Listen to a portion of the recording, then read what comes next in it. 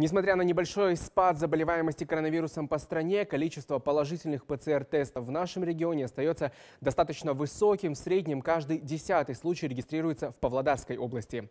Болеют все – дети, взрослые, пожилые. В общем, более 6 тысяч человек лечатся амбулаторно, еще около тысячи распределены по инфекционным госпиталям. Занятость коечного фонда у нас составила 55%, а реанимационных коек составила 10%.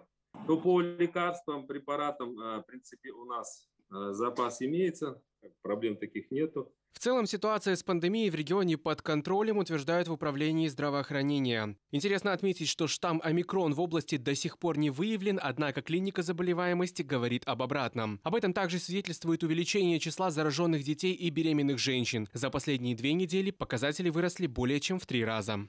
Э, под наблюдением, в общем, у нас находится 465 женщин, из них на стационарном лечении находится 65. А, ситуация по детям.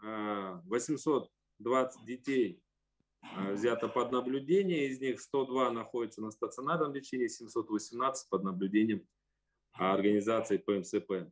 Порядка 70% подлежащего вакцинации населения области, это около 342 тысяч человек, обезопасили себя от заражения, получив оба компонента вакцины. Активно прививаются подростки, беременные и кормящие женщины. Вакцину Pfizer получила более 9 тысяч жителей региона. Казвак э, остались у нас э, на ревакцинацию и вакцинацию. Это Казвак, Сина, э, Верасел, Pfizer. Вот эти вакцины, которые у нас остались для вакцинации и ревакцинации.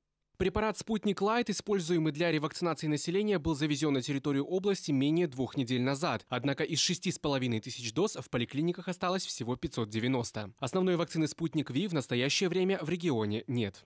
Но мы ждем поставки дополнительно, как только будет, мы дальше э, наше население оповестим.